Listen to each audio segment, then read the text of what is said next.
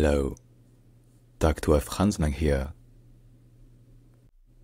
This beach town lies on the Pacific coast of Mexico, and is celebrated for its excellent surfing, beautiful beaches, and relaxed atmosphere.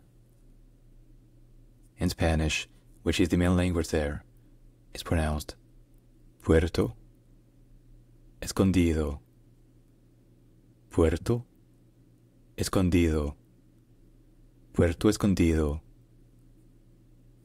Puerto Escondido.